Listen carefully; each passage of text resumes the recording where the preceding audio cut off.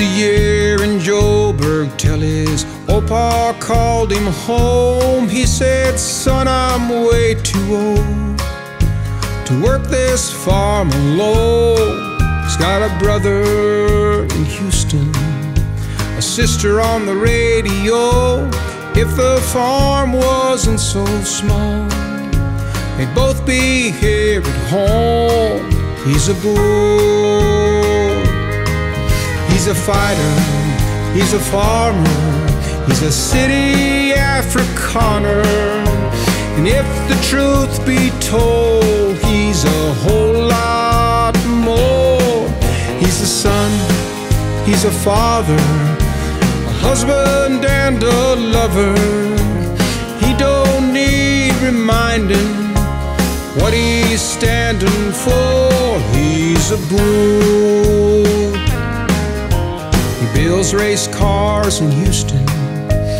They say he's the best, but his dreams take him back to that farm in Northwest, to his opa and his brother. He wonders if they're safe. He'd go back if he could, but he just can't find a way. He's a Boer.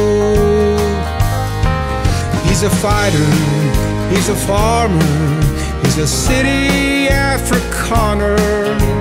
And if the truth be told, he's a whole lot more.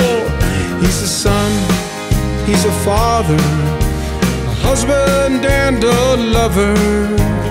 He don't need reminding what he's standing for. He's a Boer.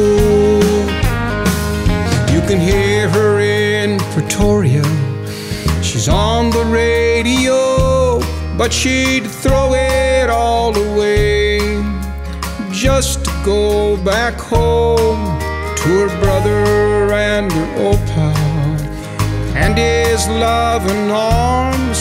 No matter where she goes, home is still that farm. She's a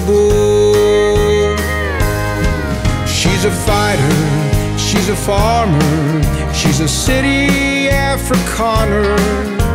And if the truth be told, she's a whole lot more. She's a daughter, she's a mother, a wife and a lover. And she don't need reminding what she's standing for. She's a Boer.